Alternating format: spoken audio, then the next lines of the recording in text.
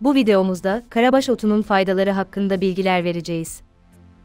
Bu tarz bilgilerden hemen haberdar olmak ve kanalımıza destek için abone olmayı unutmayın. İyi seyirler.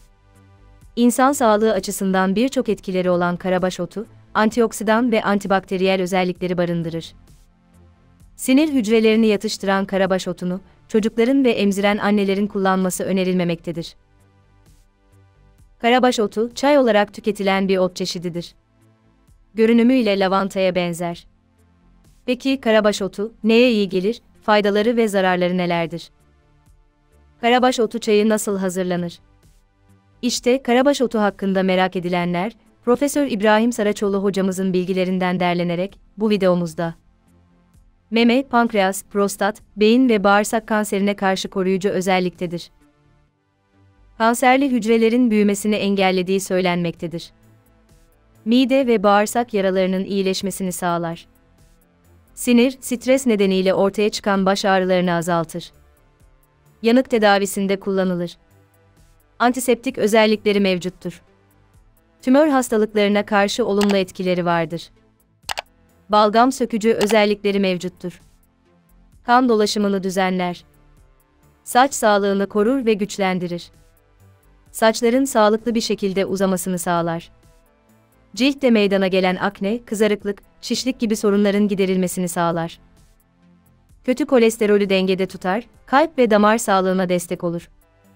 Hastalıklara karşı vücut direncini arttırır. Sakinleştirici özelliğiyle uykusuzluk, stres gibi sorunlara iyi gelir. Karabaş otu nerede bulunur? Karabaş otu, Akdeniz bölgesinde yetişen bir bitki türüdür.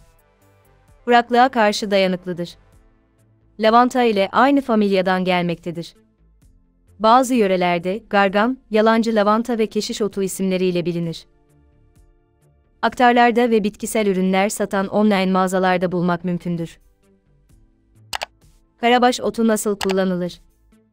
Karabaş otunun iki türlü kullanımı mevcuttur. Kurutulmuş karabaş otu, çay olarak tüketilir.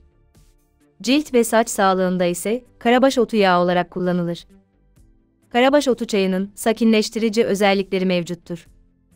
Karabaş otu çayı nasıl yapılır? Bir fincan suyu, orta ateşte kaynatın. Kaynayan suyun içerisine bir tatlı kaşığı kurutulmuş karabaş otu atın ve ağzını kapatarak 2-3 dakika daha kaynatın. Çayı 5 dakika demlemeye bırakın, ardından suyunu süzün. İçerisine bir tatlı kaşığı bal ve 2-3 damla limon suyu ekleyerek tüketebilirsiniz. Karabaş otunu günde en fazla 2 fincan tüketebilirsiniz.